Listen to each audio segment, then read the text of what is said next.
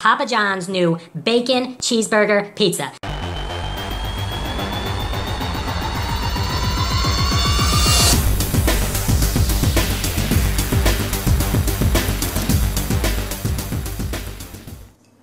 What is up, everyone? It is the endorsement, and it is time for another review. This is where I try something and tell you if you should like it or not.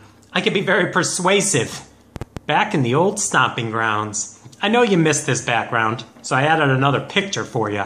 But what do I got today? We're jumping right in. A couple other food reviewers have done this already. Nick Manzioni, as well as Brandon from the SAS, Snack Food Appreciation Society.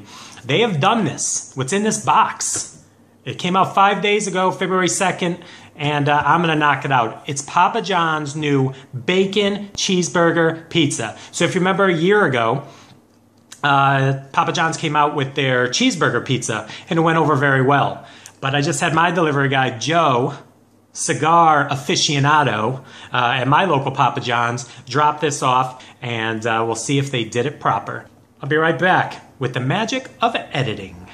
We see the cheese and the crust and the meat,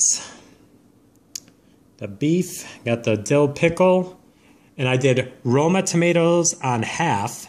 And then you also see the bacon. So yeah, I don't like tomatoes, but for the sake of the review, I kept half on. We are back, and if you noticed, I didn't mention, I got this cut in squares. I know, all you pizza aficionados out there are like, what? What's this guy doing? I'll tell you what I'm doing. Because this is a this is a bacon cheeseburger pizza. What am I gonna get it slice it triangle style? No, I got some ideas. So we cut it in squares. Plus as a kid I always liked the middle parts, middle squares. What do you want from me? So let's uh, turn it on the side, open it back up. Definitely getting a combination of the, the cheese as well as the, um, the pickle. What I also did was what I do at uh, Papa John's uh, frequently is I order it the way I do, but then on the bottom when you order it online, I did extra sauce. So they got the steak sauce on here, which makes it uh, that uh, cheese bacon cheeseburger pizza. So I got extra sauce because sometimes they're a little light on the sauce, but I found if you order an extra sauce, there's never too much sauce, at least in my travels. So uh, let's dig into a slice here. There you go. Let's take a closer look. There you go, the pickle, Roma tomatoes, the meat, bacon, right up down there. Photo op.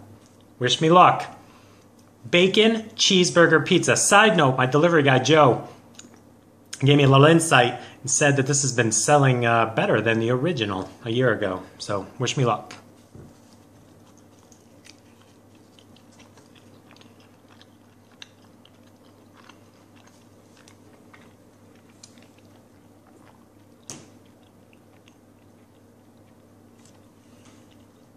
Wow.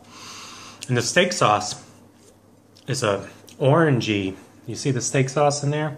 It's like an orange steak sauce. Oh, let me get another bite here.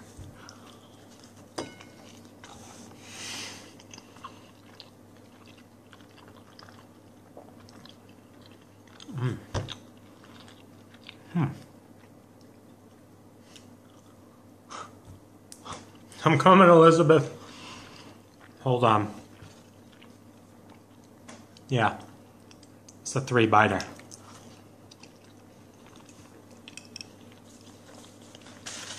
Mm, mm, mm, mm, mm. I'm gonna tell. I'm gonna tell you something in a minute.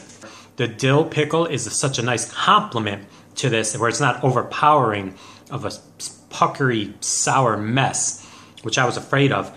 But the standout, the standout, the Brad Pitt is even relevant anymore?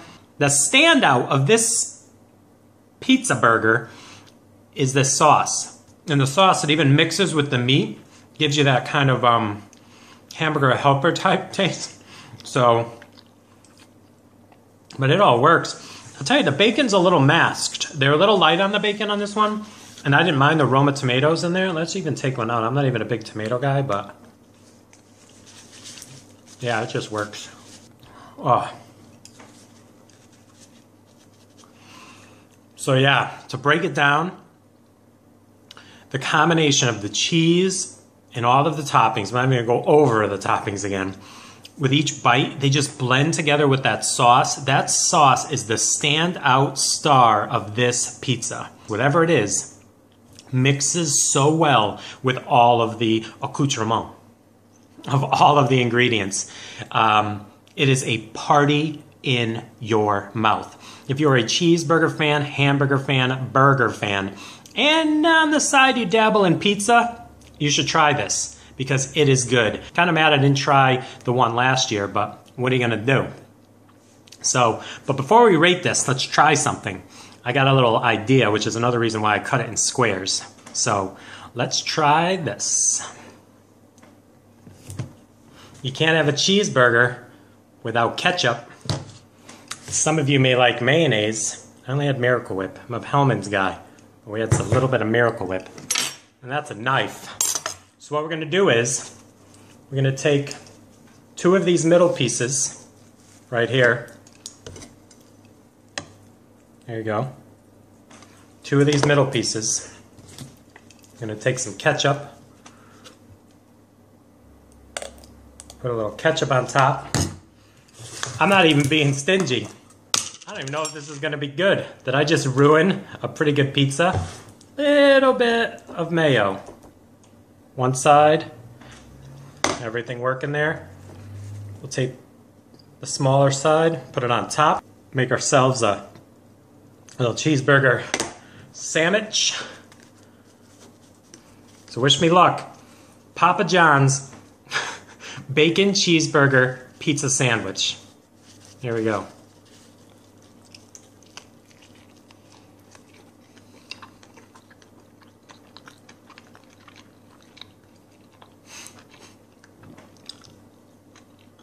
One more bite.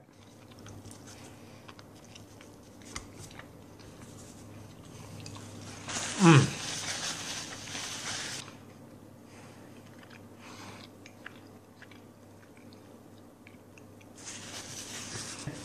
Amazing. How many other times are going to be able to put ketchup and mayonnaise on a pizza and have it work? It works. So there you go. Let's rate it, shall we?